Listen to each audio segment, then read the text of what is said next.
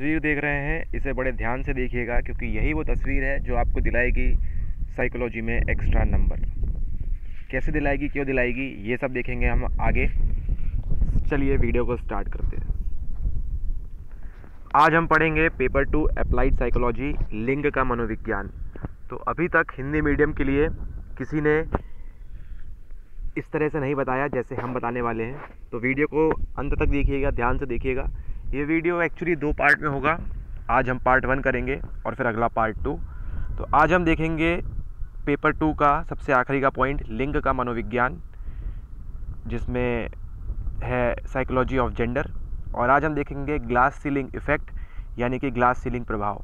ये video English medium Hindi medium दोनों देख सकते हैं, क्योंकि हिंदी मीडियम वाले को तो देखना ही देखना है। और इंग्लिश मीडियम वाले भी अगर देखेंगे तो उनको एक अच्छी समझ डेवलप होगी। और चीज़ों की डीप प्रोसेसिंग करेंगे तो अच्छा है, उनके लिए भी फ़ायदेमंद है। तो चलिए स्टार्ट करते हैं। स्टार्ट करने से पहले आपको ये जानना ज़रूरी है कि क्वेश्चन किस प्रकार का आता है। तो ये आया था 2020 में, मनोविज्ञान पेपर टू में। प्रश्न था, काच वितान प्रभाव क्या है? उन कारकों की उदाहरणों के सहित विवेचना कीजिए, जिन्होंने कुछ महिलाओं को इस कांच वितान को भंग करने में सुसाध्य किया। What is mean by glass ceiling effect discuss the factors illustrate with some examples ये आया था दस मार्क का क्वेश्चन मतलब कहीं ना कहीं ये टॉपिक इंपॉर्टेंट है. कहीं ना कहीं आपको ये वीडियो कंप्लीट करने के बाद आपको ये दस नंबर आसानी से मिल सकते थे. 2018 की बात करें तो ये समाज फिर से आया कि भारतीय समाज में स्त्री पुरुष भूमिका को रूढ़िबद्ध बनाने स्वयं पूर्वक भविष्यवाणी सेल्फ फुलफिलिंग प्रोफेसी करने तथा काच छत प्रभाव, यानी कि जो हम पढ़ने वाले हैं इस वीडियो में ग्लास सीलिंग इफ़ेक्ट इनके बीच संबंधों की बात की थी। तो अगर आपको ग्लास सीलिंग इफ़ेक्ट मालूम होगा तो आप जो बाकी दो चीज़ें हैं, उनसे रिलेट कर पाएँगे और उनके बीच एक संबंध स्थापित कर पाएँगे। तो ये सवाल था पंद्रह नंबर का तो आप समझ रहे हैं कि ये एक इंपॉर्टेंट टॉपिक है। तो चलिए स्टार्ट करते हैं। काच छत प्रभाव, यानी कि ग्लास सीलिंग प्रभाव। आजकल के संगठनों की नीतियों तथा नियमों में लिंग समानता का समर्थन किया जाता है। आप जैसे देखते हैं, हर जगह जेंडर इक्वलिटी की बात की जाती है कि हर जगह एक समान होना चाहिए, महिला एवं पुरुष दोनों। जैसे कि आपने देखा होगा कि यूपीएससी के एग्ज़ाम्स में भी लड़कियों को बढ़ावा दिया जाता है ताकि इक्वलिटी डेवलप हो और आप को समानता डेवलप कर सके इसके लिए। ये तस्वीर देख रहे हैं आप, एक पुरुष, एक महिला साथ में काम कर रहे हैं। मूल रूप से भर्ती एवं पदोन्नति के समय इन पर विशेष ज़ोर दिया जाता है। Means at the time of recruitment and promotion ठीक है? इन दोनों ही समय लिंग समानता पर ज़ोर दिया जाता है। जैसे अगर कोई रिक्रूटमेंट चल रही है, कोई भर्ती चल रही है तो अगर दस लोगों को लेना है तो चार पाँच महिलाएँ लेनी चाहिए, चार पाँच पुरुष इस तरह से। या प्रमोशन भी करना है तो ऐसी संगठनों की नीतियाँ होती हैं, ऐसे कंपनीज़ की पॉलिसीज़ होती है, कि वो एक डेकोरम मेंटेन कर सके, एक, क्या कहते हैं इक्वलाइजेशन इक्वल दोनों को समानता डेवलप कर सके, ऐसा आजकल के ऑर्गेनाइजेशन करते हैं। कोई भी महिला कर्मचारी अपनी योग्यता व कला कौशल के आधार पर संगठनों में उच्च पद प्राप्त कर सकती है। मीन्स अगर कोई अच्छा काम करेगा नो मैटर वो लड़का हो या लड़की हो, पुरुष हो, महिला हो, वो उच्च पद प्राप्त कर सकता है। और महिलाएँ भी कर सकती है, पुरुष भी कर सकते हैं।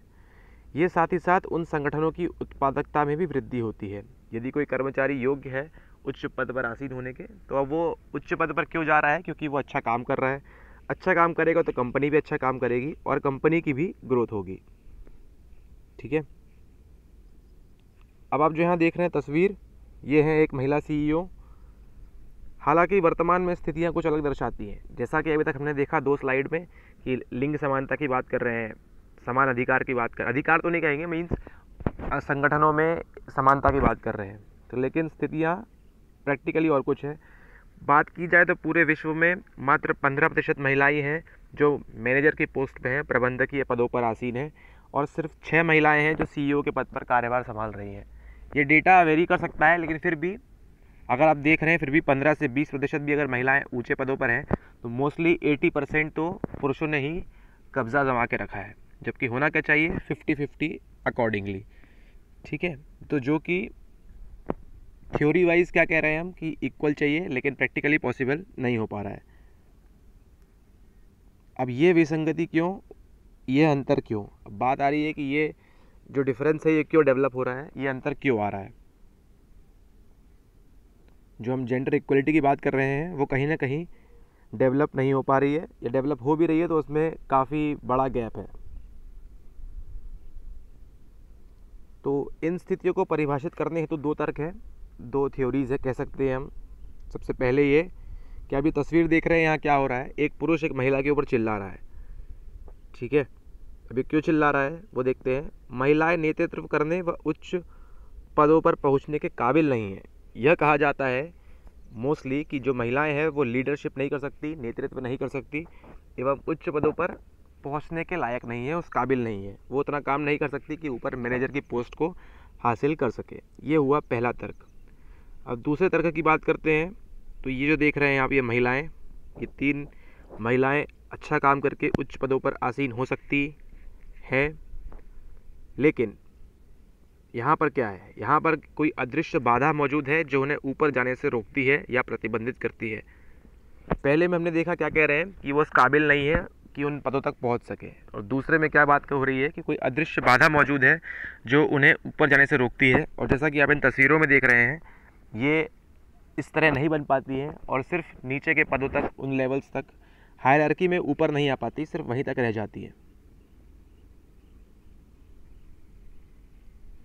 पहली संभावना को तो पूर्ण रूप से गलत साबित कर दिया गया है। तो जो पहली कंडीशन थी कि वो उस काबिल नहीं है, ये तो बिल्कुल गलत है।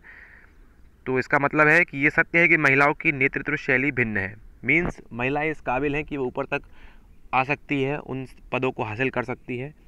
बस फ़र्क यहाँ पर है कि उनकी नेतृत्व की जो शैली होती है, वो भिन्न होती है। वो कैसे भिन्न होती है, वो देखेंगे हम आगे। अभी तक आपको ये समझ लेना है कि महिलाएँ आज किसी भी कमज़ोर नहीं है किसी भी तरह से, किसी भी क्षेत्र में कमज़ोर नहीं है, ठीक है? ईगली एंड जॉनसन ने 1990 में यह बताया कि पुरुष एवं महिला दोनों ही एक समान प्रभावशाली नेतृत्व करती है। मींस एक एक पुरुष जिस तरह से लीड करता है और एक महिला जिस तरह से लीड करती है, ये दोनों ही एक समान है। इसमें कोई फ़र्क नहीं है। तो फिर फ़र्क कहाँ आता है? फ़र्क आता है कि वो किस तरह नेतृत्व करती है। या एक छोटा सा एग्ज़ाम्पल देंगे आपको कि जो पुरुष हैं, वो किसी को चिल्ला के, डांट के काम करवा सकते हैं, या फिर कुछ महिला है, वो प्यार से बोल के, या अच्छे से बता के, या किसी अन्य तरीके से उनसे काम करवा सकती है। मीन्स उनको बेसिकली अपना काम करना है लीड करना है तो अपने ग्रुप को चार पाँच ग्रुप का जो मेंबर जो मेंबर्स का ग्रुप है, उनको किस तरह से लीड करती हैं, सिर्फ़ इसमें डिफरेंसेस हो सकते हैं। बात करते हैं अगली कि जो महिलाएँ हैं, वो क्या होती हैं? ज़्यादा सहभागी होती है, एवं पारस्परिक रूप से उन्मुख होती हैं राइट वो इंटरपर्सनल रिलेशनशिप जो है इंटरपर्सनल कम्युनिकेशन जो है, उस पर ज़्यादा बिलीव करती हैं, और निरंकुश होती हैं, फिर भी वो प्रभावशाली नेतृत्व करने में किसी से कम नहीं है। राइट तो पुरुष भी होते हैं और महिलाएँ होती हैं ये दोनों ही नेतृत्व करते हैं, दोनों ही एक समान नेतृत्व करते हैं तो फिर दिक्कत कहाँ आती है? दिक्कत आती है उस अदृश्य बाधा की, जिसके लिए हम इतनी सब कहानी पढ़ रहे हैं। अतः महिलाओं के उच्च पदों पर कम प्रतिनिधित्व करने का एकमात्र और प्रमुख कारण क्या है? उस अदृश्य बाधा का होना। ठीक है? तो वो अदृश्य बाधा क्या है? वो देखेंगे हम आगे। इसके पहले अगले पार्ट में आपको क्या करना है, इस यूट्यूब चैनल को सब्सक्राइब करना है टेलीग्राम पे ज्वाइन करना है साइको आई हिंदी और ये जो तस्वीर आप देख रहे हैं सॉरी ये जो तस्वीर आप देख रहे हैं, इससे आप समझ सकते हैं कि क्या कहना चाहते हैं हम अगले पार्ट में। तो कहीं ना कहीं आप ये जो वीडियो देख रहे हैं, ये जो चित्र देख रहे हैं, इससे समझिए कि ये महिलाएँ दोनों काम एक साथ कर रही है, क्या कर रही है। तो ये जो अदृश्य बाधा है, इसको हम कवर करेंगे अगले चैप्टर में। वीडियो थोड़ा लंबा हो रहा है। तो इसलिए तब तक आप साइको आई हिंदी को सब्सक्राइब करें टेलीग्राम पे ज्वाइन करें और मिलते हैं अगले वीडियो में। वीडियो पसंद आया हो तो शेयर करें लाइक करें कमेंट करें और किस टॉपिक पे आपको चाहिए। हम प्रयास कर रहे हैं कि जल्द से जल्द अप्लाइड साइकोलॉजी जो सेकेंड पा सेकेंड पेपर के लिए है, उसके लिए जल्दी से जल्दी कंप्लीट करें, क्योंकि हिंदी मीडियम वालों के लिए कोई नहीं है। तो उसके लिए साइको आई आ गया है, दिक्कत वाली बात नहीं है। चलिए मिलते हैं अगले वीडियो में। तब तक के लिए आप इस तस्वीर को देखिए और पॉइंट नोट डाउन करिए, आपको इस तस्वीर में क्या क्या दिख रहा है। कमेंट कर सकते हैं। धन्यवाद।